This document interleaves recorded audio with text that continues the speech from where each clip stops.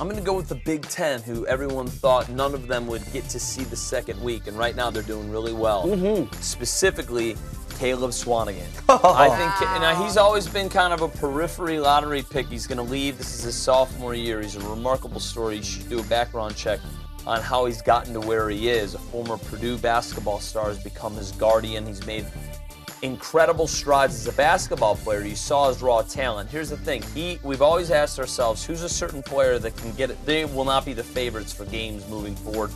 They're gonna have to.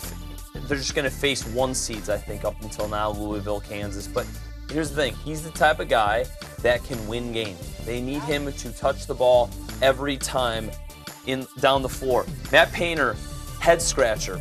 He wasn't in foul trouble. There was a five minute No. period. He was not on the floor. There is no one right now, maybe once they hit the Tar Heels, that can bang with this guy down in the paint. Give him the ball, have him score 30, 22 and 12 tonight.